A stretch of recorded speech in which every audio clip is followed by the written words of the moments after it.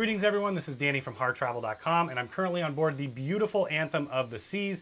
Please make sure that you like our videos, subscribe to the channel, and hit that button for notifications. All right, so now I'm in this foyer area and this is where you're gonna enter into the studio stateroom.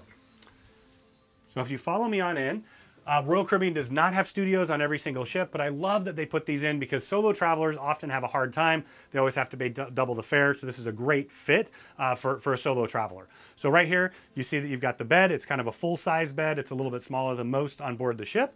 You're also gonna have storage up above the bed here quite a bit. You have this virtual balcony, which I love. They're actually piping in what is on the outside of the ship currently. Right here, you've got your hang-up space.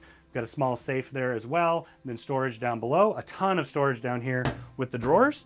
And then over the side, you have your large screen TV, which will pop out. You can face it towards the bed. You've got your remote here. You can access your, uh, basically everything through here. You can access your account. You can order room service. Once again, a great feature because this is one of the first smart ships that they ever built.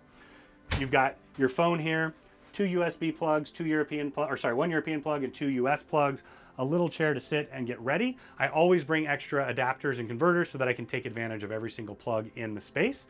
And then right here, you're gonna have your mini fridge, which is in every single room. I get that question quite a bit. And then a little bit more storage here as well.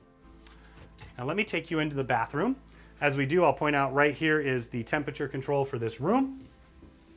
And as you head on in here, you've got your toilet to the side, storage underneath, a little bit of storage on the side here as well. And then as you step in, it's actually a little bit bigger even than the standard showers on board. I fit in here just perfectly. I'm six foot six. You also have a shower wand here, and then you have the two-in-one body and hair wash there. Trying to eliminate all single-use plastic, so you're gonna see a lot more of that on the ship.